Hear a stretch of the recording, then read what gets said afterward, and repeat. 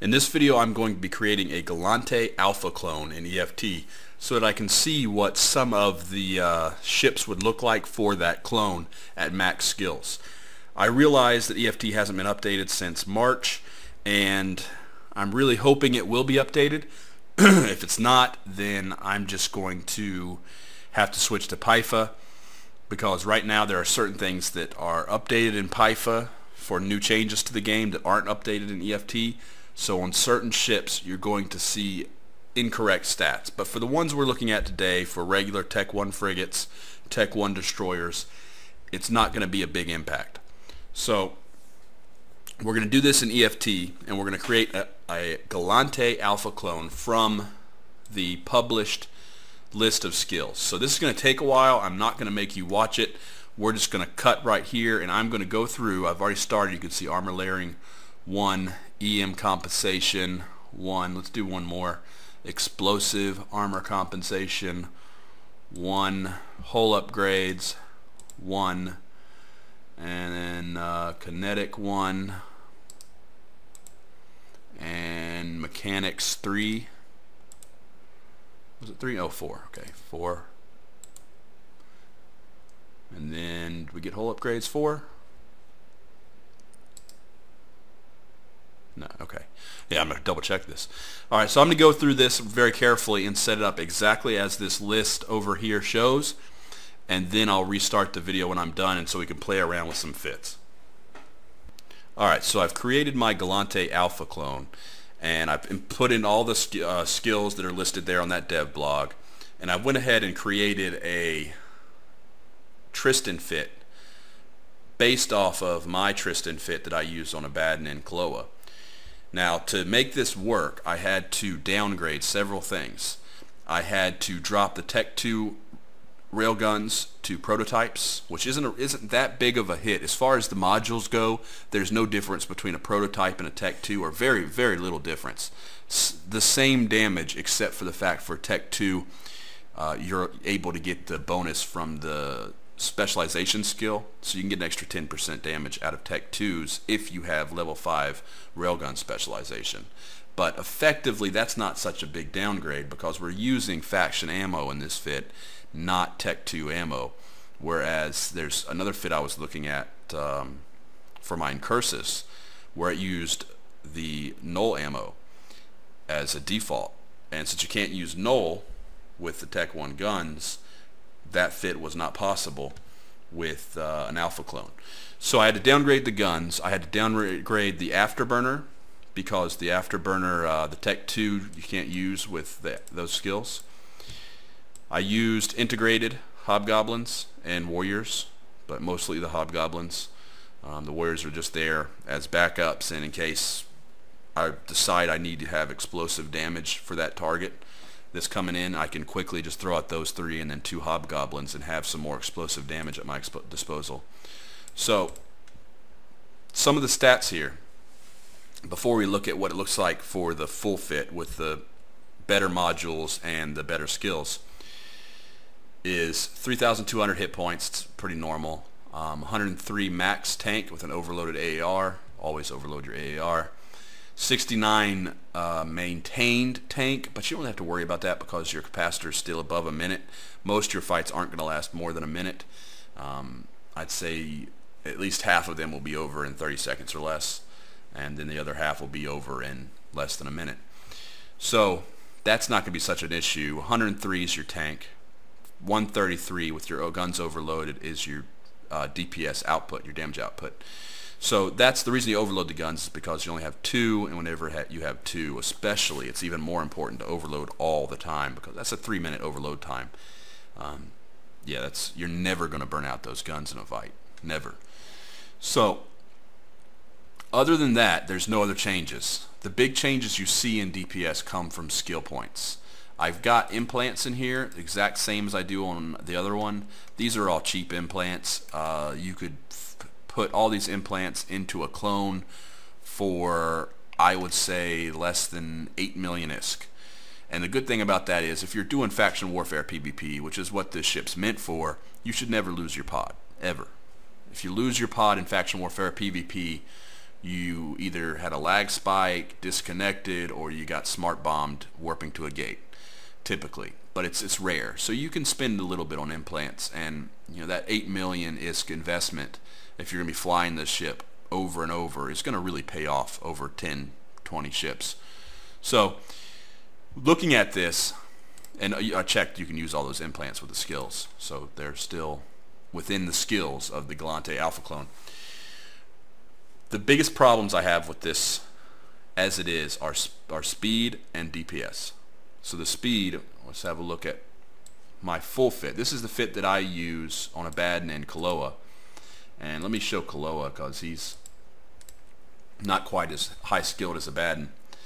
Um, he's pretty much, you know, this is about average of what you would expect from your average faction warfare PvP. It would be around the level of Kaloa and it's 970 meters per second compared to 860, so that's over 100 meters per second of speed difference, plus a, almost a second of agility, um, align time. What that means is that, that this, with the better skills and the better afterburner, um, Kaloa over here is going to be able to dictate range much better than the Gallente Alpha clone. So this fight will happen wherever Kaloa this ship decides the fight will happen at 5K, 6K, 7K, 8K. It's going to happen wherever Kaloa says it's going to happen, which can be exploited to some degree if you add this like in a one versus one, which is, you know, chances of that actually happen, these two fits actually fighting each other, is pretty rare. Uh, it would be, you know, slightly in Kaloa's advantage to fight at a slightly further range, but not really because his DPS is higher. So 175 DPS compared to 133 that's considerably more. Plus, he's got a little bit more hit points from his skills. Plus, he's got a little bit better um, defense. And actually, let me. I think there might be. Yeah, let's get rid of that. I had a the five percent repair drug, so that's that's not fair. 110. So with that, it's not a huge difference, but there's definitely a difference, and obviously there would be. But what I want you to take away from this is that you look at these two ships and they're not massively different. They're not so different that it means that as a Gallente Alpha clone free-to-play player, you are not going to be able to PvP. You are going to be able to PvP. You are certainly going to be able to smash all the other free-to-play players if you're using good tactics like I talk about in my Tristan guide. And I'm probably going to go ahead and throw this fit into my Tristan guide. It's a free guide I have on my website that's got, um, I don't know, hours of footage to teach you how to fly the Tristan. And so I, will probably add this plus an extra little video to that to show that it's completely possible. And I'm also going to, the moment they release this free-to-play expansion, I'm going to either I'll probably create an account and start training, but that's going to take too long. So what I think I'll do is I'll take Kaloa and I will unsub his account for one month so that he drops down to a maxed out alpha clone. And then I'll take Kaloa and I'll go PvP in this ship and show that it's possible to get tons of kills. And I'm telling you that once free-to-play hits, all these new players that want to learn PvP, they're all going to faction warfare. All of them. A few will go out to null. Some will just do their high sec stuff and missions and mining. But the big surge in PvP is going to be Tech 1 frigate PvP in faction warfare. So that's the place to be if you want to get some good fights on uh, release day. Is well, not release day, but in the month after release day. So this is certainly viable. This fit right here is 100% viable. You will get kills in this because this fit doesn't rely on sheer power to win. This is a finesse fit. It's a fit that uses tactics. You're a scram kite, which means that if a ship comes in wanting to try to get right on top of you and do damage, you're going to be able to hold him out at 6 kilometers, 7 kilometers, 5 kilometers, whatever, to basically remove all his damage so he can't hit you and you're able to hit him. I think of, you know, the, the bully in the schoolyard with his hand on the kid's head and the kid throwing punches. That's kind of what the picture that jumps into my brain whenever I, I think of the scram kiting principle. It's you're holding them far enough away where they can't hit you, but you can still hit them. So it's a good ship. Then I wanted to do one more just to kind of show you what this could do for cruisers. And I'm going to do a separate video about this to show something else cool that uh, someone in my comments mentioned that I thought was a cool idea. And I don't know if it's actually going to work out, but it was a really cool idea that I hadn't thought of. Um, I'll make sure to give him credit. But the Thorax is a ship that you can expect a lot of people probably want to fly as an alpha clone because if we know anything about Eve, we know that new players want to fly the biggest ship they can possibly fly, right? That you know all of us have been through it. We get in the ship in, in the game and we decide, hey, well this frigate's cool, but man, I want to fly a battleship. I want to fly a super carrier or a Titan, right? And you know these people have no idea that those ships are terrible and no one wants to fly them because they're only usable. They're not terrible, but they're only usable in very, very specific situations. So not battleships, I'm talking about capitals. Um, whereas frigates, cruisers, battle cruisers, and even battleships for some people um, are, are able to be used much, much more. The smaller the ship, the more usable it is in general. So for the thorax here, we've got a hull tank setup. You can use the Tech 2 uh, bulkheads, which I was actually shocked that you could. I didn't think you would be able to use those, but they don't require much skills. Look at that, only hull upgrades level 2. So you can use those. You could potentially drop that mag stab and get more tank from this ship, but I don't think it's worth it. You need some DPS. Your DPS output's a little bit weak as it is. The two webs are going to give you uh, plenty of range control, and since the Thorax has a turret tracking speed bonus of 7.5% per level, you're going to get uh, level 4 of that. So you're level 4 Gallente cruiser. So you're going to get 20% bonus to your turret damage and a 30% bonus to your tracking. With two webs, you're going to smash frigates. So, I mean, with the exception of Atrons and, and Slashers, you know, the really small frigates, those you might have a little bit of trouble with, but I'm not 100% sure about that. Um, I don't have any implants in here. So you could make it a little bit better with perhaps a 3% medium turret implant with um, the MC803. I'm actually going to go ahead and throw that in because I think that implant makes a really big difference for any kind of hull tanking ship. And it's like a million is, two million, three million. Um, but look at that. That's an extra 600 hit points. It's important. It makes a difference, right?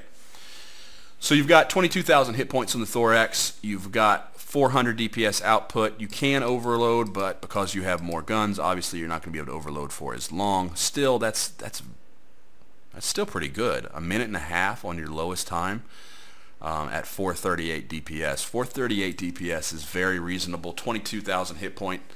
That what this ship is going to be used for this fit, and what I would use this fit for, I just made it up on the fly. Um, I've never flown it. What I would use it for is to kill frigates. I'd go sit in a medium and wait for frigates, um, sit in a medium faction warfare site, or I would go sit on a bubble um, in nullsec somewhere and wait for frigates and just blow them up. Um, and it would do very well. There's very few frigates that are going to be able to beat you if you were in this setup. Very few. Um, there are some though. So this would be a great setup for the, the alpha clone. So what I'm seeing is that these alpha clones are going to be usable in a free-to-play state. Now, we don't know 100% for sure that this is exactly the skills CCP is going to use because we're still two months out from that patch, from that expansion. So there's very good chance, almost a certainty, that CCP will make some change to the details based on the discussion they get on the forums and um, the results they see on the test server. So which way is it likely to go? I think if anything, the alpha clone is likely to be given a little bit more skills let, rather than have them reduced from the point they're at right here. I think that it's in CCP's best interest to make this free to play as good as possible. They have to maintain their freemium uh, business model to the point to where to experience the real top end, you're going to have to either Plex or pay the subscription. Um, however, you want people to be able to enjoy the game and have a good time and really get a taste for what makes EVE Online such an awesome game. You want them to be able to experience that with the free-to-play. And I think they can with these two fits. I think you can experience it. So I'm excited to see what happens, and I'm hoping that CCP pursues ship skins a little bit more aggressively. I think that if they ever want to get this game to 100% free to play, which some people have told me is ridiculous and they'll never do that, I think it's the best thing they could ever do, 100% free to play, is because the more players you have in this game, the better the game is. Anyone who's been playing for a long time knows that. That the higher the player density in general, the better the game. So by going free to play, that would solve that problem. The way that they could still maintain their revenue is to build up in-game purchases, and they're not going to do it with monocles. They're not going to do it with um, t-shirts. They're not even going to do it with Quafe thorax skins or Quafe, you know, Hyperions skins. Those are cool, and people will pay for those, 100%. People will pay for those cosmetic things, but people will pay way more for custom ship skins. So, if there was a Pandemic Legion Alliance skin for all the ships that they used in their fleets, right? You had the Pandemic Legion carriers and uh, super carriers and Tengus and Proteuses and all that other stuff. Same thing with Goons, Brave, um, all those different groups had their own custom skins that maybe you didn't even have to be part of the group to use. Maybe you were just a fan of PL and you wanted to use their skin. Or maybe you just thought that some group, you know, there was some group that called themselves the Tiger Squad and all their ships had tiger stripes on them. And you thought that looked cool. And so you could go to that alliance and you could buy those skins from them. And maybe these alliances would pay CCP for the, uh, the rights to be the sellers of these skins. I don't know. There's all kinds of different ways to go about it. But personally, I would be a hundred times more likely to buy an identity skin as opposed to just a good-looking ship skin. So something, if I could buy one, you know, if I was in an alliance, um, I am an alliance, um, escalating entropy, and I could buy one of their skins that had a cool design and it was all set up. And you know, it can't be 100% custom because if everybody can make their own skins, people are going to make, you know, offensive, crazy, lewd skins. So it'd have to be some limits, and there'd have to be a CCP employee who took 10 seconds per skin and said yes or no. Um, it's okay, it's not. And then maybe some kind of petitionable process where you could report it if something was, you know, non-friendly to uh, to younger players. So, but if there was a alliance skin I could buy, I would buy that. I, I would, you know, give them my uh, my card right now, and I would go buy that skin from all my favorite ships for the Taranis, for the Pilgrim, for the Brutix, for all that stuff. So I would go buy all that those skins. That's where they're going to eh, get their in-game purchases is from those not just vanity skins but identity skins people in those alliances are going to desperately want to have that identity and be able to fly around space with that skin showing that, hey, here's my custom skin. It's just, you know, it's like game colors or something or, you know, sports team jerseys. That's where I think CCP should go, and that's where I think their money's going to be. But that's just my opinion. Uh, this video ended like five minutes ago, and I've just been talking. So what I'm trying to say in this video is that the alpha clone is completely viable. If you have any ideas on what you would like to see me put this Gallente alpha clone in or you want to see what it would do with your fit, go ahead and drop them in the comments. And if I get enough uh, comments with people saying I'd like to see what a Gallente alpha clone would do in an Atron or in my Atron fit or in an Algos or a Catalyst or whatever, Vexor, I'll go ahead and work that up for you and I'll make a new video. So I hope you guys enjoyed this. Uh, I've got a couple more videos that I've had ideas for. So we should have some videos coming out here in the next couple days with some cool stuff. So stick around for that.